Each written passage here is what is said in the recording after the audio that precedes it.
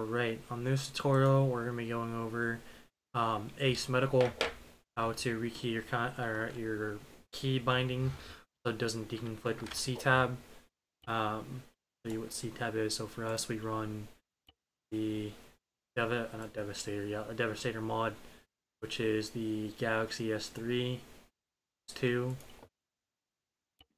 So if I press H right now, both medical menu and this will pop up. I don't want that. I want one keybind for one different thing. So I'm going to do is I go to Options, Controls, Configure Add-ons. I'm going to go to C-Tab. So I like having C-Tab be coming up on H as it's easier for me. So what I'm going to do is I'm going to leave that as it is, and I'm going to go to one of the ACE settings. I believe it's ACE Common. We're going to go and look for Medical Menu. Medical Menu right here. I'm going to change this to let's say control J. Okay, I'm going to delete H. Press OK, OK, exit out. Press control J, medical menu pops up. It's H, C tab opens up. We're ready to go. Um, when I open the medical menu again, you can do a self interaction and like go to each body part, um, like each one, but that's inefficient. You just want to open up the medical menu and it'll display all the information you need about your medical status. If you're doing treatments, what you have to do is you have to click on part of the body, so you see the name changing, and you'll have different options, so bandaging, tourniquets, medication, stuff like that.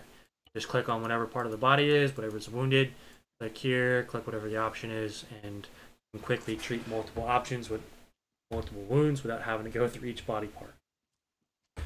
Um, ACE check. So ACE check is really simple. It stands for ammunition casualty equipment. Really just to make sure that you're not dead or downed.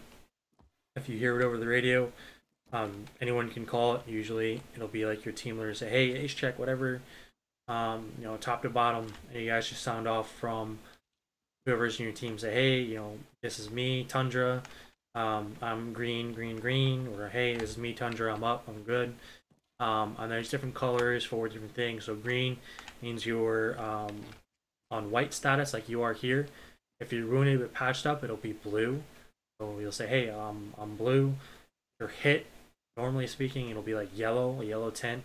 So you say, hey, I'm yellow. Or if you're bad and you have multiple yellow or you're deep red, say, hey, I'm red, I'm critical, I need help right now. That's how you do an ACE check and interact with the medical menu.